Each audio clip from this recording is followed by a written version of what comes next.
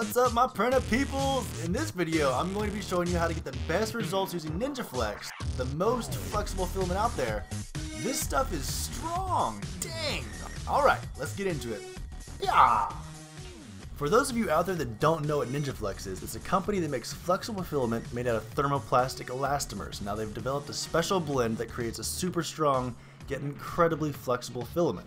Out of the 11 available colors, I chose lava because it's bright orange and I think it looks really cool. And in addition to the different colors, the filament comes in two different sizes, a 3mm for Bowden tubes like my Ultimaker, and a 1.75mm diameter for direct drive extruders. One of the defining elements of any filament is how easily you can print with it. Now NinjaFlex is not as easy to load as PLA, and that's mainly because of my Bowden extruder. But I've made an easy process that if followed, it will help you and your prints be successful. Okay, so here's my process.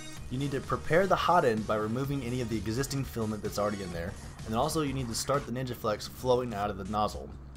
Set your hot end to 260C for the first layer, and then 245 for the rest of the print. 15 millimeters a second for the first layer, and then 20 millimeters a second for the rest of the print. 0.2 millimeter layer height. Set your filament diameter to 2.7 millimeters, and your flow at 100%. Turn off retraction, and you can print on a glass plate without a heated bed. To purge all the old plastic out of your hot end, go ahead and set your temperature to 260, but don't let it sit for very long. Filaments will melt and turn into glue if they're not passed through the nozzle and they just sit there. Go ahead and cut an angled tip into the NinjaFlex and feed it into the Bowden. Keep a good amount of pressure from the filament into the hot end and then keep advancing the extruder once the filament starts to flow. You will eventually see the filament color change to the NinjaFlex, and you'll keep manually advancing the extruder for a bit to ensure that all the old filament has been displaced. If you look at the nozzle closely, you'll notice that it's flowing and kind of making a curlicue. That's because there's still some blockage in the nozzle. Keep feeding until the filament starts flowing very smoothly, like you see here. Once the NinjaFlex begins to flow out of the nozzle in a constant steady stream, you can start your print. I've had the best success having the part sliced and everything ready to go at this point so I can immediately start the print while the nozzle is still flowing.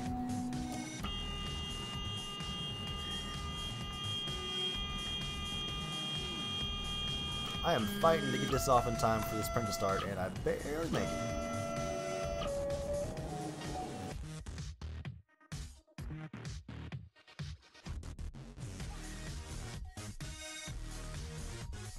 Looking closely at the first layers, you want the typical looking squished bead that spreads out evenly.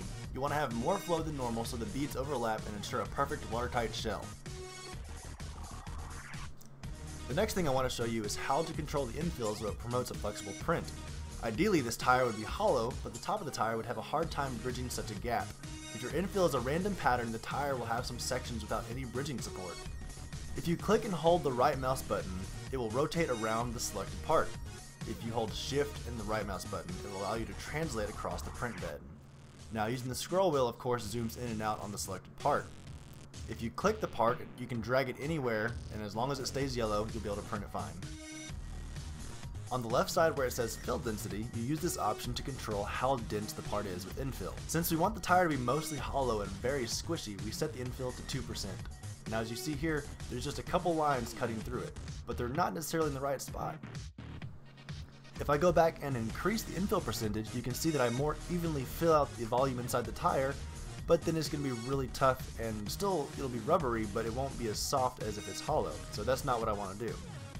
To make an equally squishy tire all the way around and help support the top layer when bridging, I reorient the tire with respect to the infill. The infill is locked into position relative to the build platform, so if I move the tire to where the lines intersect, I can put them right where they'll be most beneficial.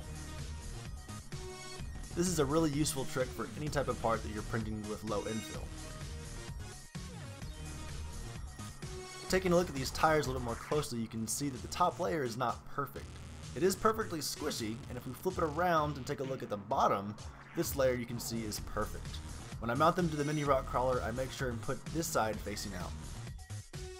On this tire, I learned that if you print with more top layers to help close all the holes, the tire becomes more rigid. You can see that the tire with fewer top layers is easier to flex. By changing just a few parameters of the print such as infill, shells, and top and bottom thicknesses, you can get different results depending on what you want. Another example I made are vibration dampeners. I designed these to be used on my quadcopter. Using the same principles that I learned from the tires, I can vary the stiffness by changing print settings. This is my acetone vapor polishing chamber. I got this big glass jar, but it did not come with an O-ring to seal the lid. I figured I could print an O-ring, but I didn't know how the NinjaFlex would hold up to the acetone fumes. So I soaked one of my vibration dampeners in acetone for 24 hours, and surprisingly, it didn't melt. The layer adhesion became a little weak, but because it didn't melt, I decided to give it a shot. I've used this chamber on a few ABS parts already, and the O-ring doesn't show any signs at all of damage. I'm pretty sure this NinjaFlex O-ring will be able to hold up to a lifetime of vapor treatments. Thanks for watching. I hope this video was helpful to you. If you have any questions, put them down in the comments below and I'll be sure to answer them. If you enjoy the videos that I'm making, please click the like and subscribe buttons. Those help me out a lot. Also, for extra bonus points, share this video with all of your friends. And if you want to see all the crazy projects that I'm working on while I'm in between videos, make sure to follow me on Twitter and Facebook. I post a bunch of pictures of projects that I'm working on that don't quite make it into the videos. And for those of you that are still watching, I've got some sweet bonus footage of all my quadcopter crashes. They're amazing. You're going to want to watch them. Here you go.